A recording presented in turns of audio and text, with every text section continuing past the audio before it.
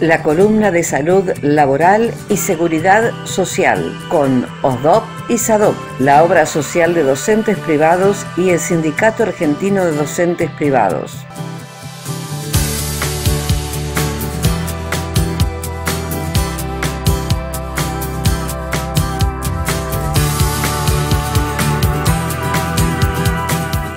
Bueno, vamos a hablar unos minutos con Marina Joreguiberri, ella es secretaria gremial nacional de SADOP y también es directora del Departamento de Condiciones y Medio Ambiente de Trabajo y también integra mujeres sindicalistas en la Corriente Federal de los Trabajadores que por estos días y con, mucha importancia y con mucha vehemencia eh, están proponiendo una participación mucho, mucho más activa de, las mujeres en la CGT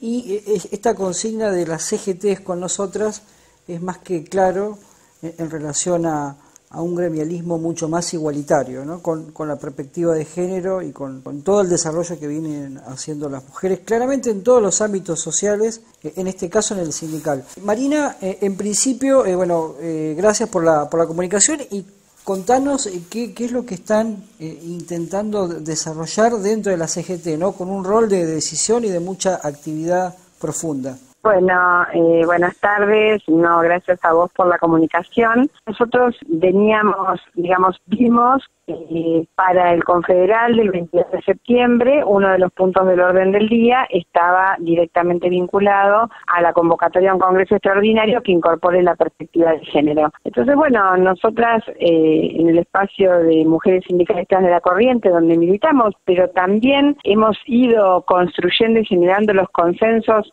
con mujeres sindicalistas, digamos, de, de distintas expresiones dentro del movimiento sindical argentino eh, y sabemos, digamos, que esta es una, una lucha común de todas las compañeras, expresando que, bueno, que nosotras, como bien vos decías, queremos estar en los lugares donde se toman las decisiones y que frente al, al Congreso de Elección de Autoridades, de renovación de autoridades de la CGT el 11 de noviembre, eh, bueno, lo que nosotros planteamos es que se cumpla con la ley 25674, que es la ley de cupo, y por lo tanto exigimos tener una representación como piso, una representación del 30% de compañeras en la conducción de la CGT. Este es nuestro planteo. Es un piso señalado por ley hace muchísimos años que no se cumple y nosotras entendemos que, bueno, que es hora, digamos, de que podamos avanzar y representar, eh, digamos, mm, poner de, manifiesto en los órganos de representación lo que ya pasa en el mercado de laboral, en los espacios de trabajo, en la pelea en la calle. Claramente, como ustedes lo plantean en el documento y como seguir visibilizándolo porque tiene que ver con, con la cultura patriarcal en que nos hemos criado todos y todas de alguna forma, ¿no? de cómo eh, mujeres son las que eh, tienen peores índices económicos, menor salario, eh, más problemas con la registración laboral, los problemas de salud, digamos, hacerse cargo de toda la, de todo el cuidado de la salud, muchas veces en las familias, en el 90%, digo, hay, hay una cuestión ahí cultural que ustedes en términos políticos sindicales, digamos, lo, intentan llevar adelante con, con más profundidad. Sí, tal cual, porque nosotros además entendemos que, a ver, eh, hay un, claro, eh, una clara expresión en el confederal que nosotros realmente compartimos, que es la construcción de una unidad Ahora, de una unidad, digamos, que, se sostenga en base a cuestiones muy muy definidas, eh, que quedaron expresadas, tal cual, por ejemplo, eh, la lucha, digamos, eh, que, encarna o el, posicionamiento de decir no a cualquier proyecto de avanzar sobre la indemnización de los trabajadores, porque en realidad se avanza contra la sustancia del trabajo, no a cualquier avance sobre la negociación colectiva. Bueno, nosotros somos partícipes de estas cuestiones, pero decimos, es una unidad que para que sea real tiene que tener adentro a las compañeras. Esa unidad es esencialmente con, con la expresión y representación de todas y todos, y no con, con figuras o, con dibujos extraños, digamos, de esa representatividad, sino que decir, bueno, paramos de cumplir la ley y, y desde ahí para adelante construyamos donde las compañeras podamos hacer escuchar nuestra voz. La pandemia, vos describías algunas cuestiones que en la pandemia se han agudizado, y que justamente tienen que ver con la el trabajo, con el, la las cuestiones del cuidado, con cuáles fueron las principales actividades, no solo en Argentina, sino en el mundo que en la pandemia, y cuando vos pasas por, por salud, por educación, por alimentación, eh, ves que son tareas feminizadas.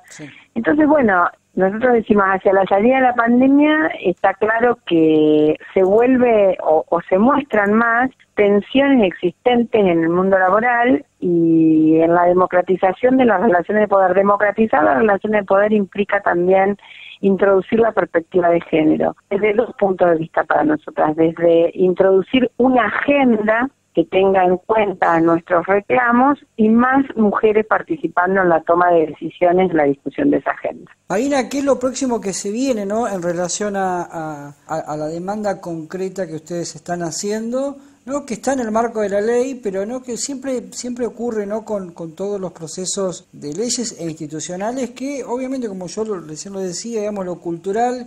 y esas esas resistencias que, que, nos, que nos pueden pasar con otros temas también, siempre lleva su, su tiempo poder clarificarlo y poder avanzar, ¿no? ¿Qué, ¿Qué, es lo próximo que se viene? Bueno, es seguir expresando y, digamos, esta decisión madurada de las compañeras y también seguir, seguir fortaleciendo nuestra representación dentro de las organizaciones sindicales y también en CGT. Realmente las compañeras tenemos vocación de representar los intereses de nuestras compañeras porque padecemos, y nuestras compañeras y nuestros compañeros, porque somos trabajadoras y trabajadores que compartimos, digamos, las mismas necesidades militares estamos dentro de las organizaciones sindicales con mucha fuerza, hemos estado en la calle, las mujeres le hicimos el primer paro a Macri, nosotras eh, eh, damos la pelea y bueno, y entendemos ya que es un avance poder hoy estar discutiendo esta cuestión, pero obviamente que para nosotros el, tema no es teórico, digamos, sino es el pleno ejercicio de la representatividad y poder estar sentada en esos lugares. Bueno, ese es el desafío, esa es la pelea, eso es lo que está por delante y también entendemos que en consonancia con otras cuestiones, vos lo decías, todas y todos somos hijos del patriarcado, pero también es cierto que si hay algo que se ha mantenido muy firme en todo lo que la pandemia ha desestructurado, es el movimiento de mujeres, los avances de las compañeras en todos los reclamos en todo el mundo. Y bueno y eso también va penetrando digamos la, por ahí las instituciones siempre son más refractarias pero bueno pero entendemos que es un gran desafío que y eso es lo que nos planteamos eh, en este momento está a la altura de la hora histórica, eh, incorporando definitivamente lo que, lo que la realidad está mostrando. Marina, muchísimas gracias. Te mandamos un, fuerte abrazo y eh, claramente el rol que usted está tocando en este momento y tiene que ver no con la realidad de los últimos 20, 30 años de eh, las mujeres como un sujeto político más que clave, importante y que, ha y es, que es uno de los más fuertes realmente. Entonces, eh, algunos dicen, bueno, la, una de las últimas revoluciones la hizo el poderes más concentrados con las nuevas tecnologías y demás, pero en carne y hueso son las mujeres. Bueno, eh, yo también creo que es así, como lo, lo, como lo dice nuestro documento, es ahora y es con nosotras. Así que muchísimas gracias, Pablo, te mando un abrazo y a disposición.